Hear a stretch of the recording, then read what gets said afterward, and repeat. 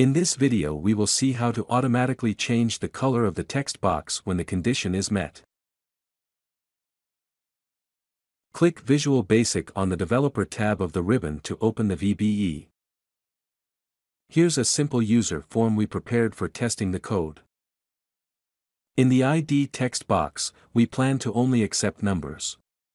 Double-click here to access the code. Let's type the condition here, using the VBA IsNumeric function, in parentheses the text box which can be called using the name user form 1 or simply me followed by a period then the text box which is text box 2. IsNumeric is the VBA function that checks if a value is numeric and returns a boolean true or false as the result. If the condition is true, i.e. the user has only entered numbers, we will set the background color of textbox 2 white using the backcolor property. Otherwise, the background color of text box 2 is red. Let's test this code.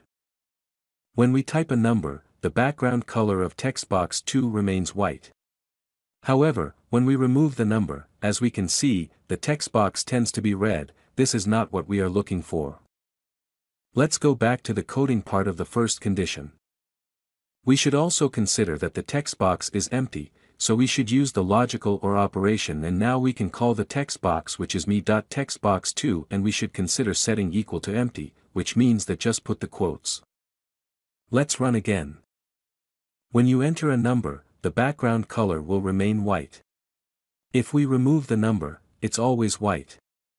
However when we enter any character or special characters the color of the background becomes red.